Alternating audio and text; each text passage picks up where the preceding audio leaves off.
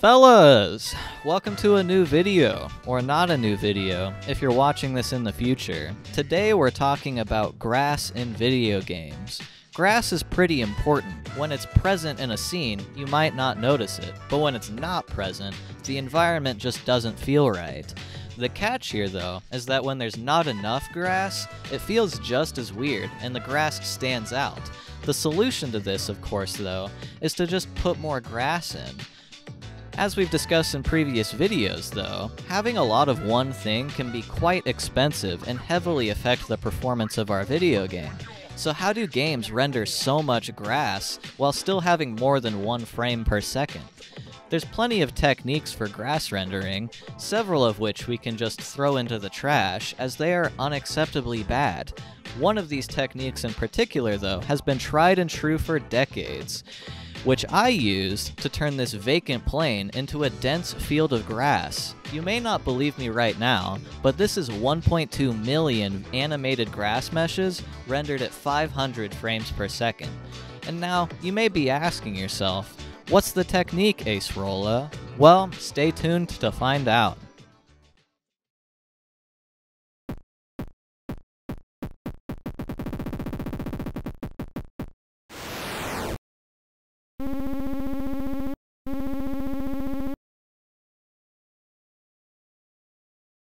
To set the scene, I have here in Unity a silly little 300 by 300 meter plane that has its vertices displaced by a height map.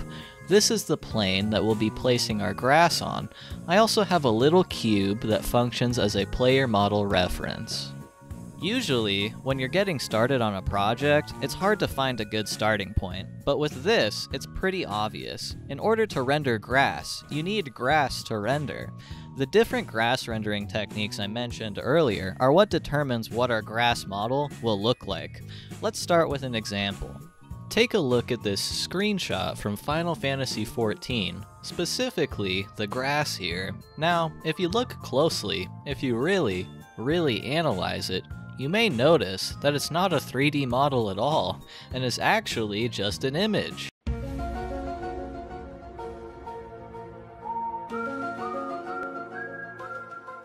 That's right, this grass is in fact two triangles that form a quad that samples a grass texture. This general technique is called billboarding, and billboard grass is the technique I'll be going over. Billboard grass is commonly composed of multiple intersecting quads. For my project, I decided to use three. Now, with this technique, the texture does all the work, so you need a good grass image texture. I decided to paint my own, but I've never made a texture before like this, so please don't laugh at me. It looks like this, and when we apply it to our billboard grass model, the grass really comes together. With our grass model complete, we need to actually place it all over the plane. So to simplify this, let's flatten our plane first. It's going to take a lot of grass to cover this entire plane, much more grass than the CPU can actually handle. So we're going to use a very handy dandy method called Normally, in a given scene, the CPU takes all the object mesh data that exists and shoves it into this big ol' funnel that gets processed by the GPU. This mesh data gets copied from the CPU to the GPU every single frame. This is the biggest bottleneck of all graphics programming because communicating data is really costly. We want to render hundreds of thousands of grass objects, so obviously, pushing millions of vertices into that GPU funnel is going to clog it up. What if we could conveniently keep that data on the GPU so we don't need to copy it over every single frame? We could create this massive buffer of grass positions and then ask the GPU to use that buffer to find the proper grass position each frame, rather than having the CPU copy each individual grass's position over. This technique is called GPU instancing, and it's perfect for stuff like grass as it doesn't need to exist on the CPU side, which is the biggest downside of GPU instancing anything instantiated by the GPU itself doesn't technically exist, as far as the CPU is aware. Before we do any GPU instancing though, we need to calculate some grass positions. We're going to calculate the positions with a compute shader so that the positions of the grass will go directly into the GPU buffer and the CPU doesn't need to do any copying at all.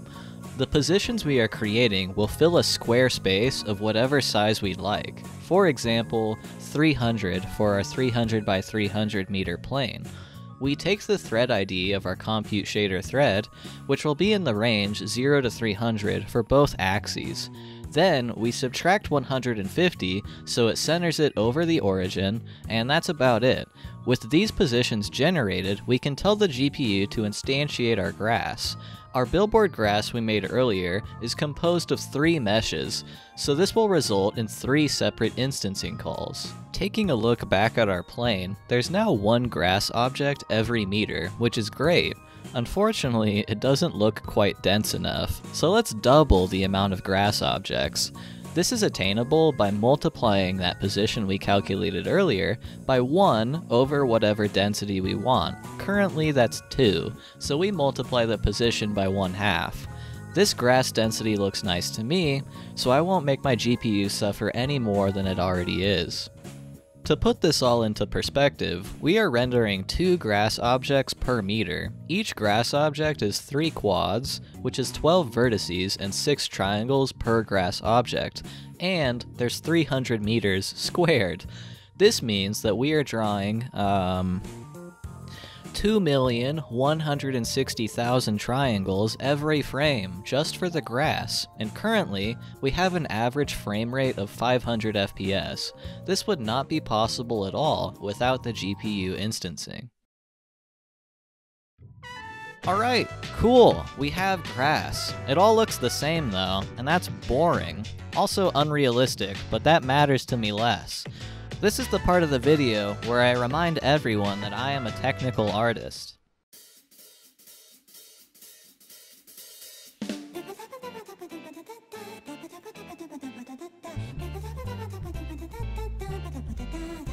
The first thing I did was add some variance to the positions of the grass. It's hard to see, but it removes the uniformity of the positions. Next, I added variance to the height of the grass with simplex noise, so that height variance is clumped together, meaning that higher grass will be grouped with higher grass, and so on, like in real life. That's about all for variants of the grass model, there's not much else to do, and I think it already improves the visuals a good deal. Now comes the hard part, and that's animation. Grass is long and thin, thus it is susceptible to wind, and it flows back and forth with it. Obviously, we aren't going to simulate wind, we're just going to fake it. Animation in this context is going to happen in the vertex shader. This is the stage of the rendering pipeline that finalizes vertex positions, so I can have the GPU modify vertice positions of a model however I please. We have a bit of a problem though, and that's that this grass model only has 4 vertices to work with.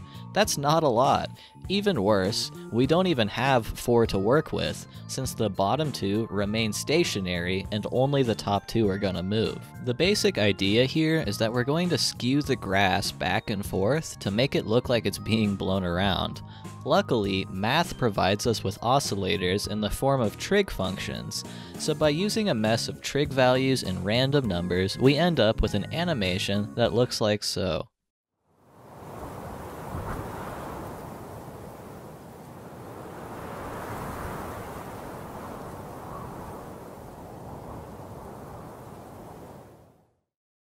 How cool and calming. I'm quite proud of it. Wait, what's that? You actually want to know how the animation works? Okay. To begin, we hash the instance ID of the grass object to get a random number unique to an individual object. Then, if that hash value is above a certain threshold, we compute a cosine value with a slightly faster frequency. Otherwise, we compute a default cosine value with a parameterized frequency. This frequency is reduced on grass that is taller, since taller grass would realistically take longer to swing back and forth.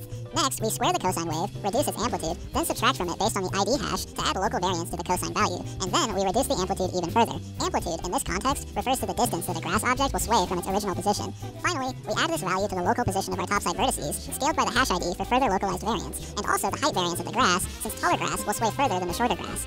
This animation obviously isn't perfect, but it is much cheaper computationally than a full-on physics simulation of wind. Also, that simulation isn't even realistically possible, since none of this grass data exists on the CPU. If you recall from the beginning, this plane that we're rendering the grass on top of has its vertices displaced. The grass doesn't move with it yet, which is a problem. This involves converting the world space coordinates of our grass to UV coordinates, such that they can sample the same height map as the terrain mesh. And now, our grass properly displaces along with the terrain. Our grass looks more natural now and is largely complete as an asset. But I had one last idea. The color of our grass is uncomfortably homogeneous. It's boring to look at. I thought about this for a good while, and I came up with several different ideas, most of which I streamed live on Twitch at twitch.tv forward slash acerola underscore t, link in the description, streams on Monday at 5 p.m. PST. The dilemma, though, is that I wanted to visualize both old and young grass. The older grass is more yellow, while the younger grass is more green, or in our case, it's closer to the default color of our texture. How do we know, though, if grass is old or not? Taller grass is older than younger grass, so we can use our height modifier we were using to cause height variance to also calculate a new value that will control how yellow the grass turns. With this value, we also use the vertical UV coordinates to interpolate the strength of this value as the grass pixels increase in height, which will cause only the tips of the grass to become very yellow. With this effect applied, I think it all comes together in terms of visuals, so please let me know what you think about it.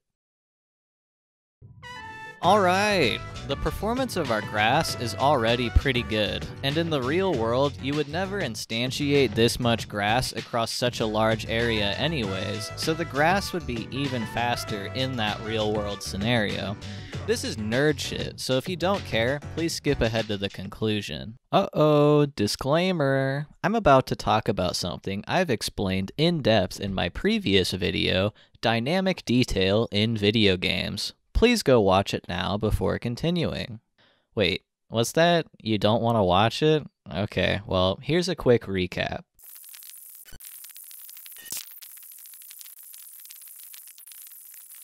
The easiest optimizations to be made involve level of detail. We can cull grass in the vertex shader in the same way we cull triangles in the geometry shader in that level of detail video, by checking if a grass vertex is outside the view of the camera, or is a certain distance from the camera.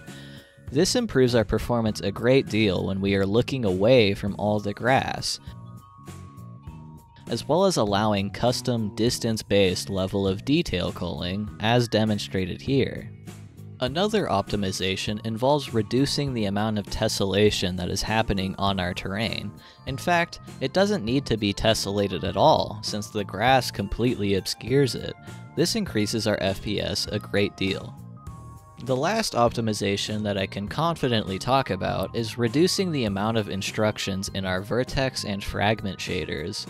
When we are instantiating this many meshes, even just one instruction can scale considerably in cost. Using numbers from earlier, we are rendering 2,160,000 triangles, which is 4,320,000 vertices, meaning our vertex shader executes that many times per frame. Our fragment shader executes even more than that.